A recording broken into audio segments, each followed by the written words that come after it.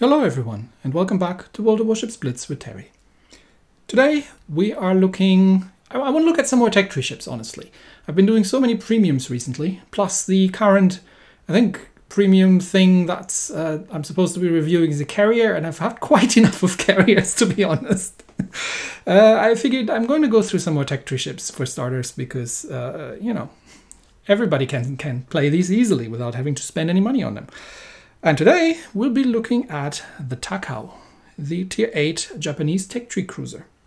Now there is a premium Takao in, uh, in, in the game with the Maya, and I think I've reviewed that one, but I haven't actually uh, done this one because I was actually still grinding on the Myoko myself. So this is, well, the Tier 8 version of the whole thing. Now, uh, the Takao did exist, and she was actually a what's it like? Think late 20s late 1920s interwar design was built in the 1930s and was among the heaviest cruisers that the Japanese were fielding with at the time probably the heaviest armament that you could find. They had 10 uh, 200 millimeter guns and 16 torpedo launchers on these things.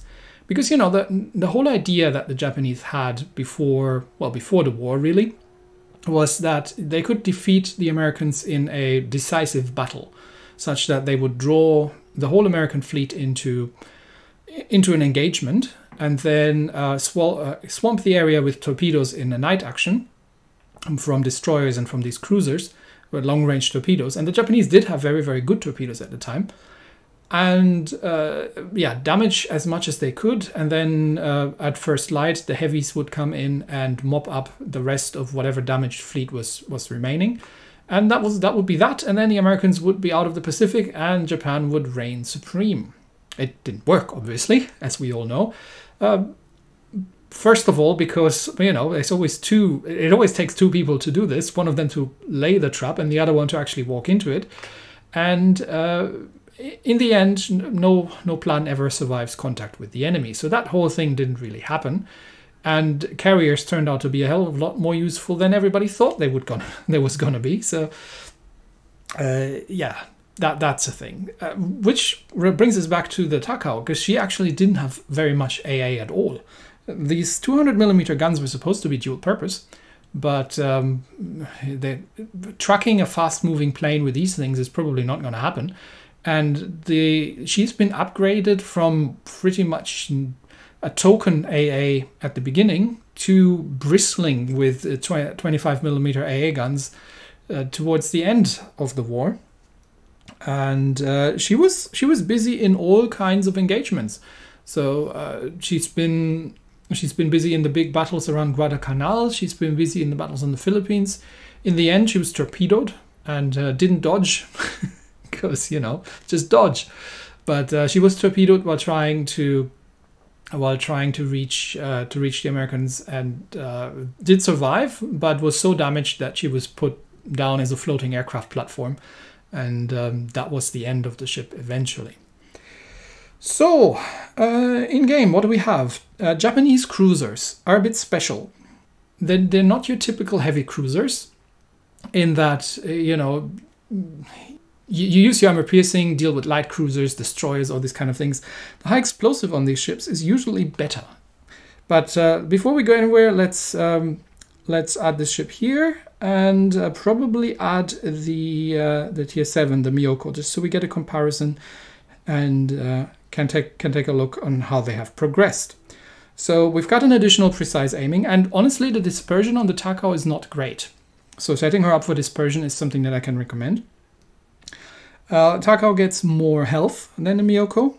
Uh, technically, Takao did get more armor than Myoko because that was one of the improvements they made from the preceding Myoko class, but uh, we don't see that here other than in additional 4,000 hit points. Uh, she is almost to the dot as maneuverable as the Myoko, but um, she her guns are better. So she's got better range, a little bit more damage, but other than that, it's very, very similar. Torpedoes is where the big difference lies. Whereas the Myoko gets 12 torpedoes, the Takao gets 16. Obviously side mounted, but uh, with an 8.4 kilometer range, these are very, very good torpedoes. The reload has suffered though, so in, in practice it's uh, once again, quite comparable. The AA is a tuck better than on the Myoko, but it's nothing to really write home about. And uh, the, the concealment is a little worse. So technically, um, this is a very, very slightly better Myoko Now, I like the Myoko at tier 7 quite a lot. And I also like the Takao.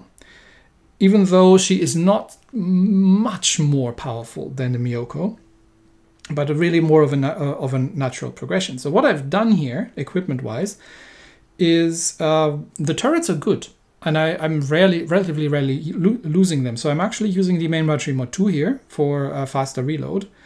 And instead of the propulsion, I've got the steering in slot 2, and that's because this is a stealth build. I like building my Japanese cruisers for stealth, uh, similar to what you would do in a destroyer setup. And uh, that also gets reflected in the supplies because instead of the uh, preventive maintenance, which gives more hit points, I'm actually using the high-grade coal for better surface detection. And that gets my ship down to a base surface detection of 7.2 kilometers. It's not destroyer level, but uh, it's definitely not bad. And uh, with an 8.4 kilometer torpedo range, I think it was 8.4, wasn't it? Uh, oops, that's the Myoko. What am I talking about? No, the, there we go. Takao, 7.45 there we go. And torpedo range of 8.4. So you can technically stealth torpedo. But other than that, uh, you would usually use these ships to set fires uh, from range and in high maneuverable uh, scenarios. You don't want to sit still in these things. Because while the turret layout is sort of front concentrated, you got three turrets in front, they are not super firing. The, the third turret, so the C turret, is sitting behind the B turret or underneath the B turret, really. So you do need to uh, you do need to angle in, and um, these ships are good at kiting and uh, good at just generally, you know, moving around a lot. uh, what else? The elite bonus. You can choose between the cruiser modernization, which gives you more hit points, more AA, and a bit uh, main battery traverse, or you can get the elite gun operator, which gets the reload time down, which I would thoroughly recommend. Because these guns are good. Now, while the torpedoes are great, and you get a lot of them, and you can use them tactically, you know, to just uh, flood areas with long-range, hard-hitting torpedoes, or you can use them on point. Uh, the guns are don't, uh, don't, not to be underestimated. And with this setup, I'm getting the reload down to 10.6 seconds, which isn't fast, but um, it isn't particularly slow either, and especially in combination with the torpedoes, uh, you know, uh, you can often do a very serious amount of damage. But just generally, I like these ships for the amount of firepower that they can dish out, which is quite fun. But they are different, very different from play playstyle from one, say, hey, um, like a, a, German ship. You can rush something in these things, and it's absolutely scary if you get rushed by a Takao, but you can't do it very often because they are nowhere near as sturdy. The uh, captain I've got I've got in here. I have the underwater protection, the torpedo alert. I think we are getting, if I have a look at the tech tree, I think we are, nope, not here, here. I think we are getting, was it on the Ibuki? Yeah, the, the Ibuki gets a defensive AA, and so does the Zao at tier 10. But um, uh, they are not super maneuverable, and I really they don't have a sonar, and I'd really prefer to have another. They're not AA ships, right? Uh, they can shoot down a couple of planes. The Maya is a different story because she's an actual AA setup, sacrificing one of the guns for a much much improved AA. But these things, not so much. So I'm not. Uh, I prefer to have a bit more of torpedo alerts if I need to de deal with destroyers. Uh, artillery maintenance. I do have the defensive, uh, the air defense expert in return uh, a survivalist because I don't really need an additional precise aim. It's also a precise aim one, so it's not going to make a huge huge amount of difference quite just yet. Uh, exploit weakness is something you definitely want to get on these ships because you're trying to set fires and flood things a, a lot. Marksman then obviously, and I've got the extinguisher here. You may as well play with say adrenaline rush. That's a very fair setup as well. And uh, take the daredevil instead of survivalist if you want to play a little differently. So all very very valid setups. Uh, you can get, if you're so inclined, want to keep the ship the historical camouflage. This gives you range of both the main battery and the torpedoes, which is very good. It gives you traverse speed, which is very nice, and it gives you surface detection improvements, which is also very, very good. So this is a great historical camo if you want to keep that. But we are tier 8 and it's 3,500 gold, so it's starting to get expensive. So as usual, I'm going to be playing with the C bonus salt. Right, so uh, tier 8 is where it can get difficult at times. And um, like I said, I, I like this ship because it it it it looks like a single purpose ship. It looks like a kite away, run away, um, like stealth torpedo sort of things. I like to play this a bit more aggressively, and it is actually quite useful also with deal in uh, dealing with things like destroyers. So let's have a look at some gameplay. In the first round, we are playing Epicenter on Frozen Shelter, and I'm intentionally using Center Cup uh, uh, replays here because the one thing that you might be thinking in something like a Japanese ship, saying, well, well, well, crap, what am I going to do with a long-range kiter that is good at running away from stuff in, in a Center Cup map? Well, uh, you can do a lot of things in these sort of scenarios. Anyway, we're up against, we're in a bottom tier battle, we're up against uh, Essex, Roma, Kutuzov, Chapayev, another Chapayev, a Z46, and an Ognevoi. So let's get going. Uh, yeah, because of the stealth setup, you can do this. Because if you're if you're uh, if you're spotted and the battleships start opening up on you, uh, the Takao might be better armored than the Myoko, but it's nowhere near as near good enough to stop battleship shells, obviously, and they're rather large and inviting targets. But um, with the stealth build, you can get yourself into sneaky positions. Now it is a carrier battle, so I'm assuming that I'm going to be spotted. So I'm going to be heading towards that island there, because that island gives me uh, enough cover to be uh, to, to be able to you know uh, take some take some shots from each side and not be instantly deleted. Plus, I can actually help out with capturing the middle ring. Uh, plus, I have uh, gun angles at enemy destroyers. Now, the armor piercing on Japanese cruisers is usually pretty pretty meh. Um, I've, I've often had more success using the high explosive, even at other cruisers, and um, uh, against destroyers as well. Although there might be scenarios where the AP is is good enough against destroyers, but I just haven't played enough yet to um, to see where the over penetrations start on destroyers, uh, and HE just doesn't overpen. So um, we have spotted a Chapayev, who's instantly going to start shooting at me, and uh, we're going to return the favor. But I am obviously now spotted, so I'm just dunking some tactical torpedoes in the general direction. And the Chapayev is a better HE spammer, but I have now bigger problems because there is a Roma, which is extremely aggressive coming around the flank here.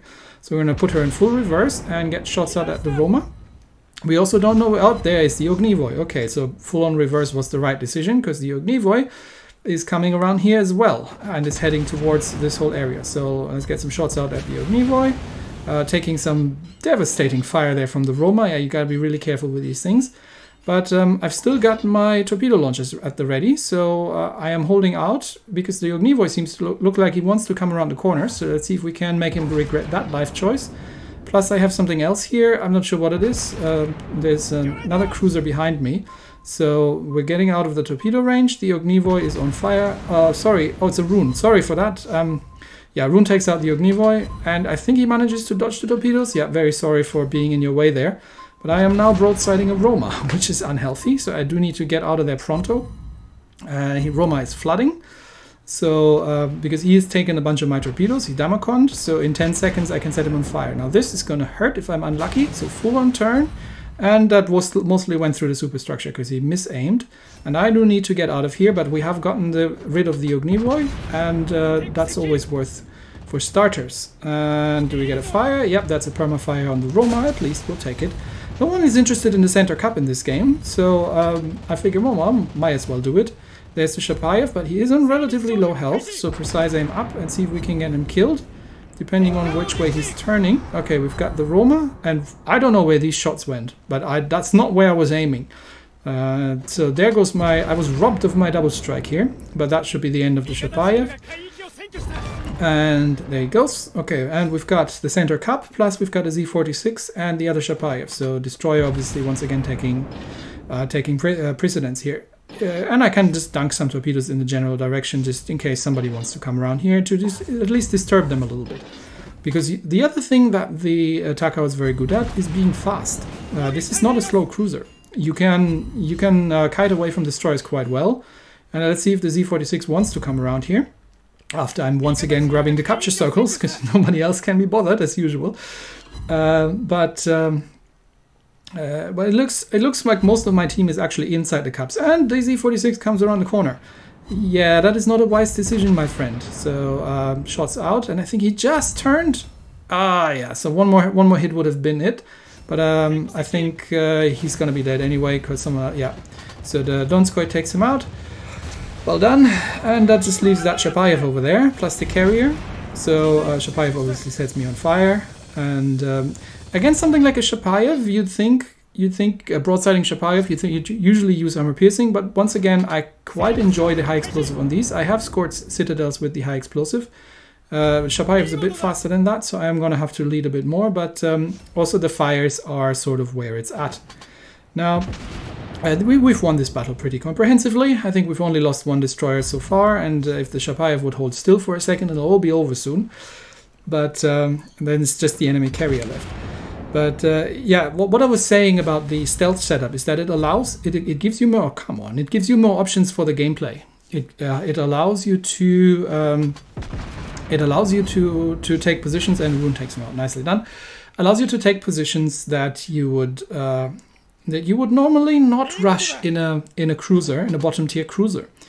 Because uh, of the, uh, yes, it was a carrier game, so I couldn't quite do what I wanted to do, but uh, if it's not, especially if it's not a carrier game, you can get away with quite a fair bit of aggressive positioning, and use your torpedoes early on to push things away or to punish uh, to punish ships that are not quite expecting it. So I'm, uh, yeah, uh, this is just gonna. There's nothing happening anymore, so I'm just gonna forward to the end here, and we're coming out on top with the team. Uh, yeah, thanks thanks to the Roma for selling broadside on to people, but um, uh, yeah, uh, and 300, 300 team play points for sitting inside the capture circles the whole game. In a Japanese cruiser, you can do this. But yeah, um, well played to the rest of my team as well. This was a uh, this was a pretty comprehensive spanking that the enemy team has taken there. So let's do that again. And in the second battle, we are in what I think is a flat out tier 8 battle, is it? Uh, I think it is. And we're in the infamous, the one and only Golden Channel Center Control. So once again, Japanese cruisers not particularly suited to this sort of thing because if you're stationary, you bow in something like that, you don't have the armor to do that, and you can't get your guns to bear. You can't get your torpedoes to bear forward. I mean, the angles are not quite as dreadful as they were in the Myoko, but they are better in a in, in a mobile position. And this is once again why I why I like the stealth build because. Uh, it allows me to do these things. So what are we going to do here? Uh, traditionally, you would take like the, the the right side corner of that island straight ahead from me. I'm not quite going to do that. So what I'm what I'm expecting here is that um, there's going to be well, you know, we've got an AFK Benson, great. Uh, there's going to be a lot of ships, uh, you know, coming in between these two islands on the other side, and I want to see if I can sneak around the other side of the island, which doesn't get me into the capture circle immediately. And uh, but I want to see if I can sneak around and maybe get some sneaky torpedoes off. And uh, I'm not I'm not straying very far from the capture circle. I can always dip in when I'm needed. But uh, for now, I just want to see if I can poke around here. Uh, there's one battleship. I'm not going to start shooting at it because I want to see if I can up uh, where the other ones are. There are two battleships out there. There's the North Carolina. There are destroyers in there and I can't outspot them. Yeah, there's the Benson, but the Benson shouldn't be able to see me. So maybe I can get this, I can, oh, no, I'm detected. Uh, there's something there. Yeah, it's the Aki, okay. So I'm gonna drop torpedoes in the general direction of the Aki and then get him, yeah, he smokes up. Okay, he's scared. But um, is he gonna sit still in his smoke? That's what I wanna know. And that was a nasty hit there from the battleship roll when I was turning. Yeah, I was kind of hoping that I could get to torpedo these guys. But uh, this is the way we turn around and um, set fires and do kinds of things. And that's a dead Akizuki. I know how tempting it is from, from personal experience to just, you know, sit there. But now we're just dunking some more torpedoes in the general direction and we've just sent 16 torpedoes into the capture circle. The Akizuki is dead and I think that, what was it, the Benson on our side has just done the smart thing as well given that the Akizuki was gone, he could just sail through there and um, dunk all his torpedoes into the Vladivostok, which means the Vladivostok is now going to either die to my torpedoes or if I'm going to get him with the guns first, we will see. But that takes care of one destroyer and one battleship. and puts the enemy, uh, we're holding the cup, and oh, the North Carolina takes him out. Okay, and there's the Kansas. Kansas seems to be shooting, no, he's not shooting at me, She's, he's shooting at the Benson. We're holding the capture circle, so now I can get into the more traditional position, and I'm just, you know, at long range and see what that North Carolina is going to do. He doesn't look at me, so we'll just start sinking some shots into him. But I'm keeping my distance, because uh, in a Japanese cruiser you do not wish to be close to enemy battleships, unless, you know, they're not paying attention and you can torpedo them.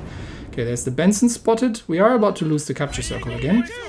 But um, it's there will be torpedoes in the water, so I am going to have to sit, and I'm taking fire from the left. Not sure what it is, but uh, might be the Kansas still. Uh, yeah, there come the Benson torpedoes. So, um, uh, and so we're just going to be sitting here for now. We'll let these pass, and then we're going to get back into the capture circle. I'll heal up a little bit more. And uh, I think all these people have different problems, and uh, they're trying to shoot at the destroyer in our destroyer in the capture circle, so we can get some more shots out. And then once again, uh, we're going to help cap, uh, help grabbing the cup and just dunking torpedoes into the general direction of everybody out there. There is Cleveland. I'm going to get him priority targeted because he's the, the bigger danger for the Benson. So we do some damage to him, set him on fire, and it looks like he doesn't want to be there. So he's running away. Uh, the Kansas is going to run my torpedoes, maybe, if he's not dead before. So let's just shoot at him. And, uh, oh, ow, that was the Kansas. Yeah, that hurt. And there's another Benson coming around the other side. So we've got the capture circle secured.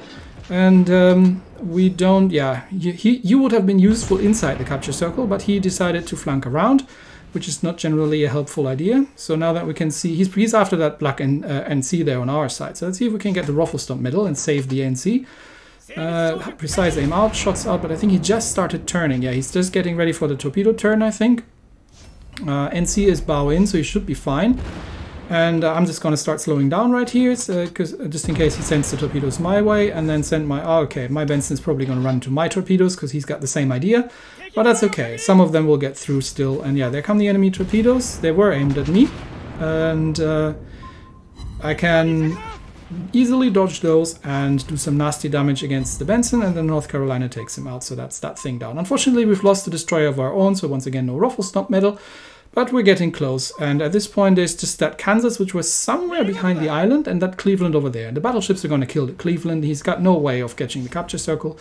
So at this point, um, I don't need to stay at the capture circle, but I can actually go and find that Kansas. Now he can either come around this way, in which case I'm going to torpedo him, or he can come around the other way, in case Benson gets to torpedo him. So let's see who let's see who gets to kill the Kansas. Uh, where's Benson going? Benson is going right, so I'm going to stay left, and um, we'll see we'll see who finds him first.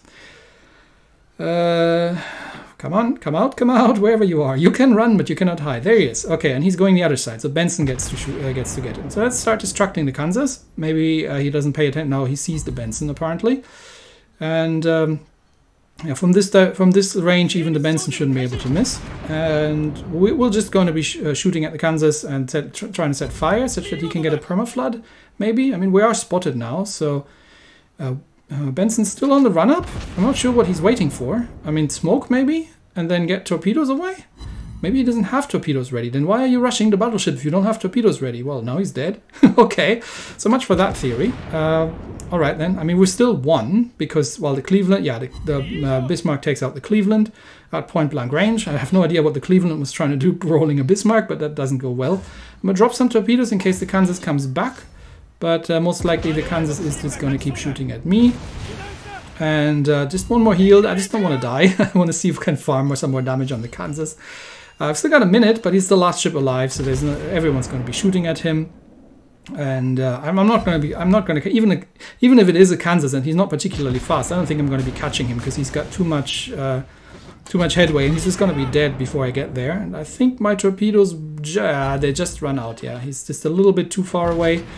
But uh, that's alright. Um, we can still get some gunshots in. It's slowing down, maybe because he's seen my torpedoes. I mean, he's not particularly fast to begin with.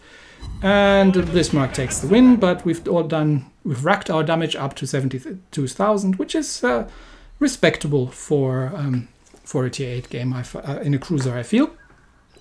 So yeah, this is the sort of thing you can do in the Takao. It's not a an anti-DD ship, as, as most cruisers are. It does have relatively low utility against destroyers. What it can do, though, is use the torpedoes in a like in a, in a tactical manner, just to uh, to swamp certain areas and deny certain areas.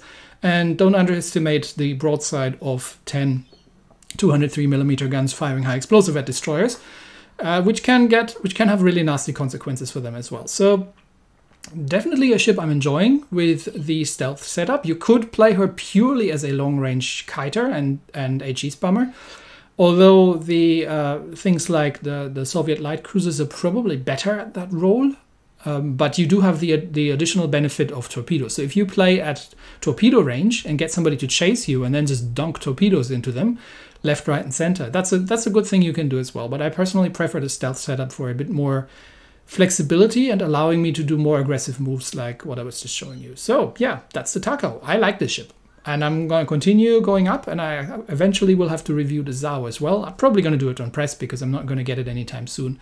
But yeah, that's coming up at some point. Anyway, that's it for me today. Thanks everybody and I'll see you next time. Bye bye.